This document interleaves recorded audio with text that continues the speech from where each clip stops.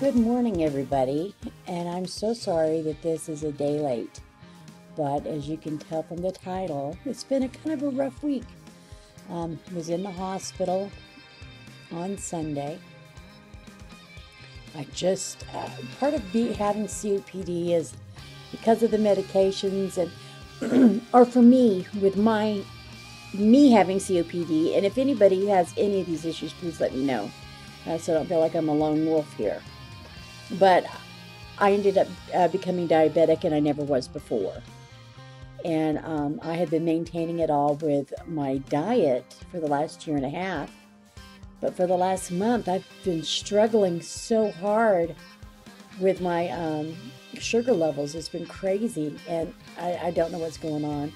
But I ended up in the hospital Sunday, and they had to give me two bags of saline because they said I was dehydrated Again, I didn't understand that because I'm very aware of with you being with COPD and stuff that you have to have a lot of liquids. Um, and uh, my sugar level was out of control. It's been hitting 381, 400, then it'll drop down to two. I'll be wake up with it, it being at 285. It's just been horrible. So yesterday I got to get into the doctor after the hospital on Sunday. We did an A1C and it was a 9.5. 9.5. That is just devastatingly high. So I am now on an insulin pen. And I asked the doctor what's what what could be possibly going wrong because I drink the water, I watch my diet, I'm losing weight. I lost 4 more pounds this month. And he said sometimes the disease just takes over the disease just takes over. I'm not ready for that. I'm, uh, that's not something that I can accept. So I am going to just keep on working. I've got to keep on working. I've got to get to where I can move. I have to financially be where I can move and get out of here to a lower elevation. At a lower elevation, my mobility is better because I'm not so breathless. And from everything I can figure out, when you're a diabetic, exercise is key. COPD, it's key. I know that I am able to do more at a lower elevation. I actually traveled to Arizona um, here a while back, and that was something, coordinating all the oxygen. But I was able to do more, move more.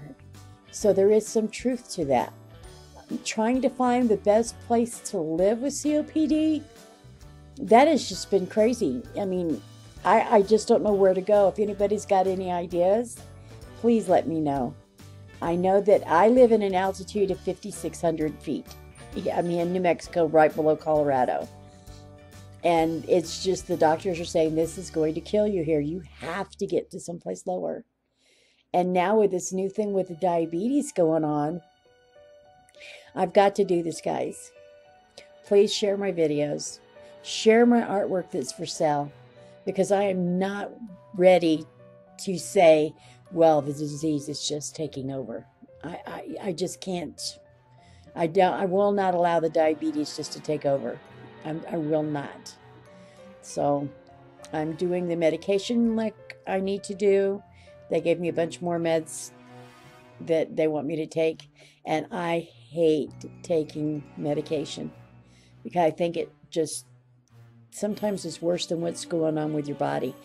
And that's true because now I have all these other side issues that I never had before I had COPD. I know this is a little bit of a rant today. I'm just not willing to give up. I am open to any suggestions if you know any place that you know, you have heard that people live that's with COPD that helps with their breathing. I'm I'm more than willing to it. I hope you enjoy this little light-free journal that I did today. And I hope you guys have a fantastic week. And again, I'm sorry that this journal was late. Next week, maybe it'll be better and I'll be in better spirits. Right now, I'm in fight or flight and I'm fighting. bye bye.